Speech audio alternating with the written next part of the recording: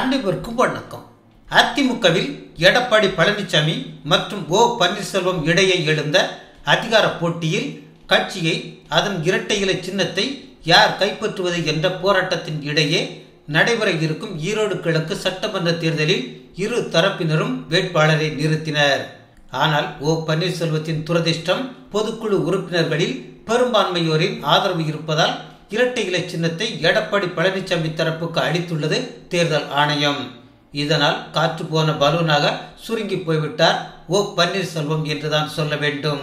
இரண்டாயிரத்தி இருபத்தொன்று சட்டப்பேரவை தேர்தலில் கொங்கு மண்டலத்தில் அதிமுக வேட்பாளர்கள் அதிக எண்ணிக்கையில் வெற்றி பெற்ற போதே கட்சி தனது கட்டுப்பாட்டின் கீழ் இல்லை என்பது ஓ பன்னீர்செல்வத்திற்கே நன்றாக தெரிந்துவிட்டது.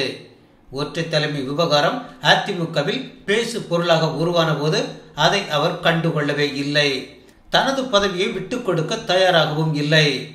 நமக்கு டெல்லி பாஜக தலைவர்களிடம் நல்ல மதிப்பும் மரியாதையும் இருக்கிறது. அக்கட்சியில் இருந்து ஆலோசனை கூற சில ஆடிட்டர்களும் இருக்கிறார்கள். அவர்களை மீறி தனது பதவியை யாராலும் பறித்துவிட முடியாது என்று ஓ. பன்னீர்செல்வம் உறுதியாக நம்பினார். இரண்டாயிரத்தி பதினேழில் அதிமுகவில் மீண்டும் இணைய பாஜக வாய்ப்பை ஏற்படுத்தி கொடுத்தது போல் இப்போதும் உதவி செய்வார்கள் என்றும் கருதினார். அதாவது இவர் அதிமுக தொண்டர்களையும் கட்சி தலைவர்களையும் ஒருபோதும் நம்பியதில்லை. தவிர திமுகவை தாக்குவதிலும் அவருடைய வேகம் முன்பை விட பல மடங்கு குறைந்தும் விட்டது. இதுதான் ஓ பன்னீர்செல்வத்தின் மிகப்பெரிய மைனஸ் பாயிண்ட் அதனால்தான் டிடிவி தினகரன் சசிகலா இருவரையும் டெல்லி பாஜக மேலிடம் அதிமுகவில் இணைக்க விரும்புகிறது என்று அவ்வப்போது சொல்வதை வழக்கமாக்கி கொண்டார்.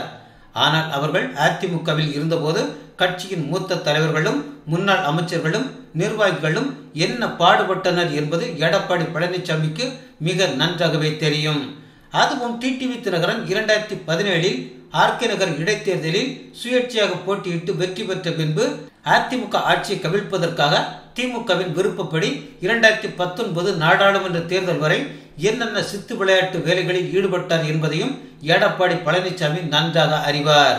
அதனால்தான் டிடிவி தினகரனும் சசிகலாவும் இனி அதிமுகவில் ஒருபோதும் சேர்த்துக் கொள்ளப்பட மாட்டார்கள் என இன்று வரை அவர் உறுதியாக இருக்கிறார். அந்த வைராக்கிய குணம்தான் அதிமுக தொண்டர்கள் முதல் தலைவர்கள் வரை அத்தனை தரப்பினரிடமும் எடப்பாடி பழனிசாமி மீது ஒரு பிடிப்பை ஏற்படுத்திவிட்டது. எம்ஜிஆர் ஜெயலலிதா போல திமுக எதிர்ப்பில் எடப்பாடி பழனிசாமி மிகுந்த உறுதி காட்டுகிறார்.